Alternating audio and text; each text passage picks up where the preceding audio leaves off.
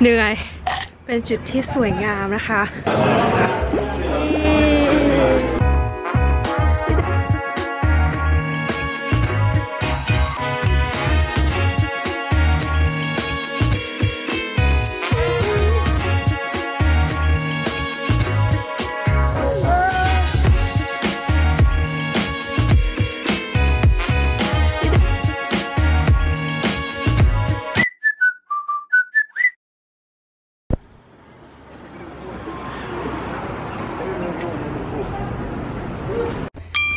ดีค่ะทุกคน โอ้กำลังเดินขึ้นเนินตอนนี้เราพาทุกคนนะคะ มาอยู่ที่ลันสตุงบูเคอนะคะ เหนื่อย เดินขึ้นบันได เป็นจุดที่สวยงามนะคะ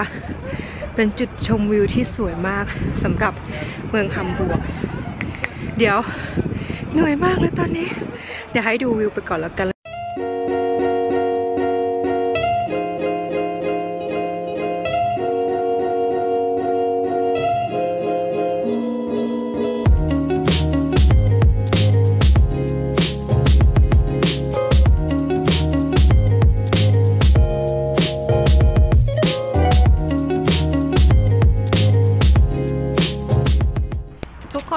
งจะได้เห็นวิวของลันสตุงโบเคนไปแล้วนะคะ ซึ่งเป็นวิวที่สวยงามมากๆเลยนะคะ แล้วก็ตอนนี้เนี่ยเราก็กำลังจะเดินไปเรื่อยๆ วันนี้นะคะถือว่ามาเดินเล่นแล้วก็เป็นการส่งท้ายฤดูใบไม้ร่วงนะคะ เพราะว่าอีกไม่กี่วันก็จะเข้าสู่ฤดูหนาวอย่างเต็มตัวนะคะ ซึ่งวันนี้เนี่ยอุณหภูมินะคะ ตอนเช้า ติดลบ 2 องศาแล้วคาดว่าอาทิตย์หน้า อาจจะมีหิมะนะคะ อาจจะมีหิมะ แต่ก็จะคิดว่าน่าจะเป็นฝนตกมากกว่า ถ้าอุณหภูมิหนาวพอก็อาจจะเป็นหิมะ แต่น่าจะเป็นฝนมากกว่า ไม่งงเนาะตอนนี้มือของจ๋าก็เย็นและแดงนะคะ เสื้อผ้าก็ใส่มาอุ่นค่ะ แต่ว่าไม่ได้ใส่ถุงมือมา เพราะคิดว่า เออมันก็คงไม่หนาวเท่าไหร่เนาะอะไรประมาณนี้นะความรู้สึกเราอะแต่สรุปนะคะก็หนาวมากๆเลย ก็ลบสององศาเนาะ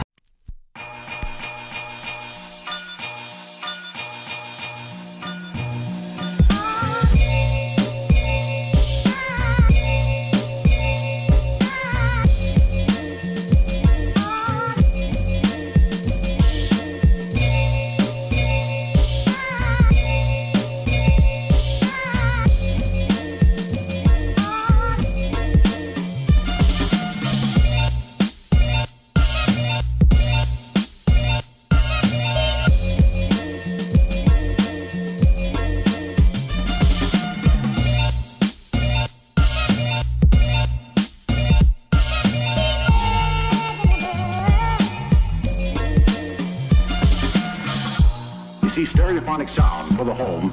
is recorded on two separate tracks, each one giving special emphasis to certain sections of the orchestra, as heard from those positions. ตอนนี้เราอยู่ที่สวนสาธารณะนะคะ แห่งหนึ่งในฮัมบูร์กที่จ๋าเนี่ยชื่นชอบมากๆทุกคนก็คงเดาออก แต่อย่างที่เคยบอกนะคะว่าจริงๆแล้วเนี่ยมันเป็นสวนที่มีขยะขนาดใหญ่มาก แล้วด้านนี้เนี่ยจ๋าไม่ได้มาที่เนี่ยมันเป็นปีแล้วนะ เป็นปีเลยทีเดียวนะคะ ดังนั้นเนี่ยจ๋าก็เลยเอออยากจะมา เพราะว่าปกติเคยไปแต่สวนญี่ปุ่นเนาะถ้าเกิดใครดูคลิปนะคะ ที่จ๋าพาไปถ่ายรูปกับฤดูใบไม้ร่วงที่เยอรมนีนะคะ ตรงนี้หรือตรงนี้นะ ตรงนี้ตรงนี้นั่นแหละถ้าเกิดใครยังไม่ได้ดูนะคะ ก็ตามไปดูกันได้นะคะ แล้วจ๋าก็จะบอกเทคนิคเคล็ดลับนะคะ ถ่ายรูปอย่างไรให้ได้รูปที่สวยงามเหมือนบล็อกเกอร์สายฝอกนะคะ ตอนนี้เนี่ยอากาศดีมากถึงจะหนาวแต่จ๋าก็ยอมเพราะจ๋าชอบมาก ดูท้องฟ้าสิ See, stereophonic sound for the home is recorded on two separate tracks, each one giving special emphasis to certain sections of the orchestra, as heard from those positions. Now, when played back simultaneously on two separate systems, the sounds are blended together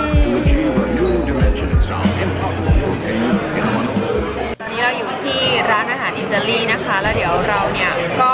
ยังไม่ได้ทานอะไรมาเลยทั้งวันนะคะ ก็รีสอร์ทส่วนมากก็จะปิดวันอาทิตย์ แต่ว่าที่นี่เขาเปิดวันอาทิตย์นะคะ ก็เดี๋ยวเรามาดูกันว่าสั่งอะไรทานค่ะ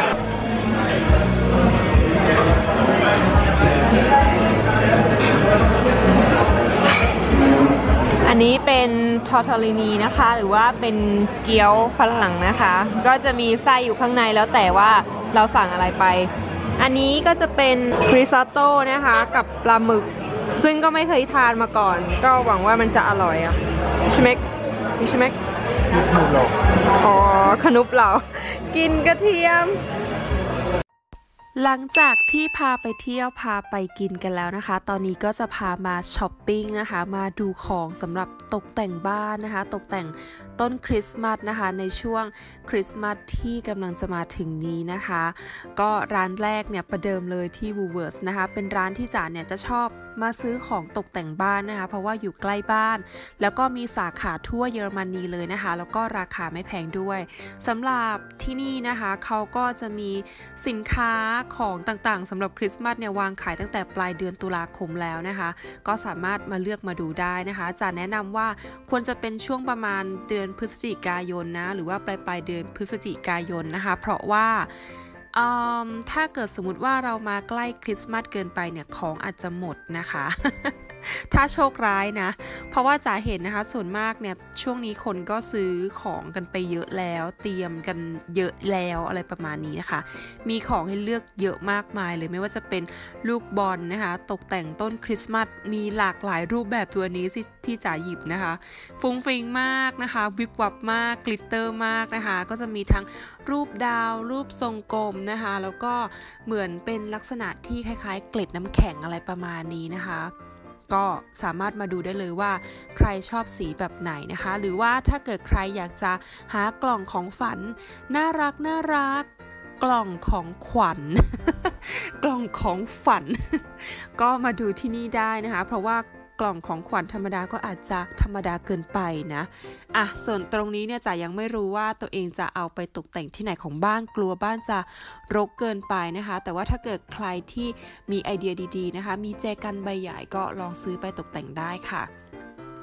ส่วนตรงนี้นะคะไม่ใช่มงกุฎดอกไม้หรือว่ามงกุฎสำหรับสวมศีรษะแต่อย่างใดนะคะ อย่าเข้าใจผิดนะคะ เพราะมันดูเหมือนมงกุฎเทพีกรีกเลยเนาะ อันนี้นะคะ เอาไว้ประดับตกแต่งบ้านนะคะ ไม่ได้เอาไว้ใส่ศีรษะแต่อย่างใดนะคะ หรือว่าเอาไว้แขวนประตูก็ได้นะคะ อันนี้นะคะ ส่วนตรงนี้นะคะก็สำหรับถุงแดง ๆ นี้นะคะ ก็จะเป็นถุงสำหรับใส่เป็น Advent Calendar นะคะ ก็สามารถใส่ของกินหรือใส่ของขวัญไว้ในถุงได้นะคะ แล้วก็แขวนไว้แล้วก็เปิดทีละวันนะคะ ส่วนถ้าเกิดสมมติว่าใครที่อยากจะหาผ้าปูโต๊ะอะไรนะคะ ที่นี่เขาก็มีขายเช่นกันค่ะ อันนี้ก็จะเป็นไฟสีสันแตกต่างกันไป รูปร่างแตกต่างกันไปนะคะ ก็แล้วแต่ว่าใครจะชอบแบบไหนนะคะ อย่างจ๋าเนี่ยจะชอบไฟที่เป็นโทนอุ่นมากกว่า เพราะว่าให้ความรู้สึกแบบ cozy cozy อันนี้ก็จะเป็นของตกแต่งที่ทำมาจากไม้นะคะ เป็นงานฝีมือไม้ที่สวยงามเช่นกันนะคะ ให้ความรู้สึกที่เป็นคริสต์มาสนะคะ แท้ๆเลยแบบต้นตำรับ original มากๆเลยนะคะสำหรับการตกแต่งสไตล์นี้นะคะ เอาละอันนี้ก็จะเป็นที่ Aldi นะคะสำหรับใครที่คิดว่า Woolworth มันไม่มีแถวบ้านไป Aldi นะคะ ก็เจอของตกแต่งเช่นกันนะคะ แต่ว่าจริงๆแล้วเนี่ยอาจจะไม่ได้มีตัวเลือกเยอะเท่าไหร่นะคะ แต่ว่าเขาก็มีของน่ารักน่ารักเช่นกัน อย่างอันเนี้ยสะดุดตาจ๋ามากเลยเทียนอันนี้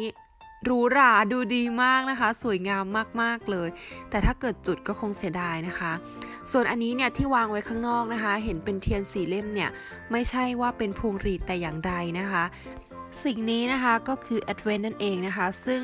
สำหรับทุกๆอาทิตย์นะคะของเดือนธันวาคมก่อนที่จะถึงเทศกาลคริสต์มาสนะคะ ชาวคริสต์นะคะก็จะจุดเทียนหนึ่งเล่มนะคะ ส่วนตอนนี้นะคะเรามาที่ร้านคิกกันเลยนะคะ ซึ่งของตกแต่งถามว่ามีเยอะไหม ก็อาจจะมีไม่เยอะเท่าที่ร้าน w o o w o r t h นะคะ แต่จะคิดว่าก็อาจจะขึ้นอยู่กับสาขาด้วย ที่คิกเนี่ยจะมีความรู้สึกว่าของเนี่ยเขาจะมีคุณภาพที่มากกว่านิดนึงนะคะ แล้วก็ราคาเนี่ยก็สูงกว่า w o o w o r t h นะคะ เป็นธรรมดาของก็จะดูมีคลาสขึ้นมานิดนึง สังเกตได้จากสิ่งที่อยู่ตรงหน้านะคะ ก็นั่นแหละน่ารักสวยงามเนาะของน่ารักมากเลยนะนะคะก็คือของตกแต่งคริสต์มาสเพิ่มเติมที่เซฟได้สั่งมาถ่านเนี่ยซื้อมา มันมีโปรโมชั่นพอดีมันแถมพอดีเหมือน 8 ก้อนแถม4อะไรประมาณเนี้ยแล้วก็ 5 ยูโรนะคะ อันนี้เซบเขาสั่งมาจาก Amazon เดี๋ยวเราจะมาดูกันเห็นเขาบอกเขาสั่งมาจะถ่ายรูป มันไม่ใช่สีโทนอุ่นนะเนี่ย แต่ว่ามันสามารถ control ได้นะ มันจะมีปุ่มตรงนี้ใช่ไหมกดไป กดไปอย่างเงี้ยนะเห็นปะมันก็จะแบบมีแบบปุ๊บปั๊บปุ๊บปั๊บหรืออย่างนี้ก็ได้ เลื่อนเลื่อนแบบเลื่อนขึ้นเลื่อนลงได้ ถ้าเกิดสมมุติเราต้องการปิดเราก็กดปุ๊บอ้าวไม่ใช่นะประมาณนี้นะคะ เอาละส่วนอันนี้นะคะก็เป็นการตกแต่ง บรรยากาศคริสต์มาสเล็ก ๆ น้อยๆนะคะ ของบ้านจ๋าคือทุกคนก็คงจะเห็นว่ามุมเนี้ยเป็นมุมที่แบบว่าจ๋าก็จะตกแต่งไม่ว่าจะเป็นงานวันเกิดเลยก็ตามแต่เพราะอย่างที่บอกนะคะอพาร์ตเมนต์จ๋าเนี่ยเล็ก แล้วก็ไม่ได้มีมุมอะไรตกแต่งให้เยอะแยะนะคะ แต่ว่ามุมนี้ก็ น่ารักดีเป็นมุมแบบนั่งเล่นอะไรอย่างเงี้ยนะคะ ก็อันนี้ก็ออกแบบให้มันค่อนข้างแบบโคซี่โคซี่นิดหนึ่งนะคะ เดี๋ยวจะมาอธิบาย อันนี้เนี่ยเป็นเหมือนกับแบบว่ากระดาษนะคะห่อของขวัญคือวันนั้นเนี่ยจะจะถ่ายรูปนะคะ แล้วก็คิดว่าอ้ยมันดูโล่งๆไปก็เลยเอากระดาษห่อของขวัญนะคะ มาตัดเป็นรูปดาวนะคะ ก็จะได้ประมาณนี้นะคะจะได้ไม่ต้องไปเปลืองเงิน คือมันหาซื้อดาวไม่ได้ด้วยแหละ แล้วจะอยากได้แบบดาวสีทองอย่างนี้ไง อันนี้ก็จะเป็นรูปภาพต่างๆนะคะอันนี้จะเป็นอินฟลูเอนเซอร์ที่จ๋าชื่นชอบมากเขาเป็นคนเยอรมันนะคะ แล้วก็เป็นคนทำ vlog แต่ตอนนี้เขาย้ายไปอยู่ที่ลอนดอนแล้วแล้วก็ปารีสนะคะ อันนี้ก็จะเป็นต้นคริสต์มาสเล็กๆนะคะ ที่เซบาสเตียนเขามีอยู่มาก่อนนะคะ อันนี้เป็นซานตาคลอสเวลาจ๋าจัดบ้านจ๋าจะบอกว่าค่อนข้างที่จะนึกถึงความหมายนะคะ ก็จะมี detail ใส่ลงไปนะคะ เมื่อมีซานตาคลอสตรงนี้แล้วนะคะ ตรงนี้ก็เป็นเหมือนลูกสนเล็กๆนะ อันนี้ก็จะเป็นเทียนสีขาวนะคะ ให้บรรยากาศอบอุ่น แต่ว่าต้องระวังนิดนึงนะ เวลาจุดเทียนต้องดูด้วยว่า ถ้าเราออกจากบ้านนะเราดับไฟอะไรเงี้ยเรียบร้อยหรือเปล่านะคะ แต่ก็กลัวๆเหมือนกัน เป็นคนขี้ลืมไง อยู่ใกล้ไฮสูงมากก็ไม่ดี อยู่ใกล้ผนังมากก็ไม่ดีนะคะ เพราะมันจะร้อนแล้วเราเอามือมาไว้ตรงนี้ มีซันตาคอสแล้วนะคะ ก็จะต้องมีเหมือนเจ้าเรนเดียนะคะ อันนี้ก็จะเป็นตัวน้อยนิดซื้อมาตั้งแต่ปีที่แล้วนะคะ อันนี้ก็จะเป็นนางฟ้า อันนี้ก็จะเป็นซันตาคอสอ้วนตัวเล็กนะคะ อยู่คนเดียวอาจจะเหงาก็เลยมีสาวน้อยนางฟ้าตรงนี้มาด้วยนะคะ เป็นนางฟ้าหรือเปล่าไม่รู้อาส่วนตรงนี้ก็จะเป็นป้ายจะจ่ามีเกสึนะคะ ซึ่งสำหรับควางเนี่ยจ๋าก็เปรียบเสมือนว่าเป็นจ๋ากับเซฟนะคะ นะคะ ก็เหมือนกับว่าเราอยากจะให้หน้าเราเนี่ยหันมามองกันอะไรเงี้ย เดินตามกันตลอดอะไรประมาณนี้นะคะ แบบไปด้วยกัน together อย่างที่บอกเป็นคนแบบใส่ใจกับความหมายมาก อันนี้ก็จะเป็นลูกสนนาง แล้วก็จะเป็นนางฟ้าเล็กๆนะคะ จริง ๆ ตรงนี้เนี่ยเป็นถ้วยใส่เทียนนะ แต่ทีนี้จ๋าก็ไม่ได้จุดไฟไง ก็เลยเอามาเอาลูกสนมาใส่นะคะ ก็จะมีต้นคริสต์มาส เล็กๆ ตรงนี้นะคะ เป็นต้นสีขาวแล้วก็จะเป็น JJSB นะคะ ซึ่งย่อมาจากจ้าจ๋าเซบาสเตียนนั่นเอง ส่วนอันนี้นะคะเป็นของขวัญวันวาเลนไทน์ปีแรกที่จ๋าทำให้กับเซฟนะคะ ก็เป็นกรอบรูปแล้วก็ข้างหลังเนี่ยมีเนื้อเพลงฉันดีใจที่มีเธออะไรเงี้ยแล้วจะก็เขียนเป็นภาษาอังกฤษนะคะ ฉันดีใจที่มีเธอ ฉันดีเออเธอคือกำลังใจเดียวที่เดียวไม่ว่าในที่แน่ๆอะไรประมาณนี้นะ เออของพี่บอยใช่ไหมนะคะ ส่วนตรงนี้ก็จะเป็นเหมือนดอกไม้นะคะ ซึ่งมันจะให้อย่างที่จะบอกว่ามันจะให้บรรยากาศโคซี่โคซี่ซึ่งมันก็ทำมาจากเหมือนลวดเหล็กอะไรสักอย่างเนี่ยแหละนะคะ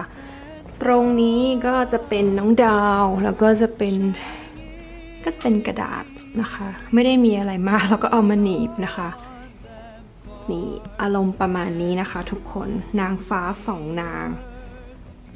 จะเป็นคนที่เวลาประดับอะไรก็ตามจะไม่ชอบให้แบบว่ามีอย่างแค่ตัวเดียว อย่างเช่น ถ้าควางตัวเดียวมันก็จะดูหงอยเหงาเงี้ยจ๋าก็จะทำแบบมีควางสองตัวอะไรเงี้ยซันตาคอสก็จะต้องมีสองสามตัวอะไรเงี้ยเขาจะได้ไม่เหงาอะเป็นคนที่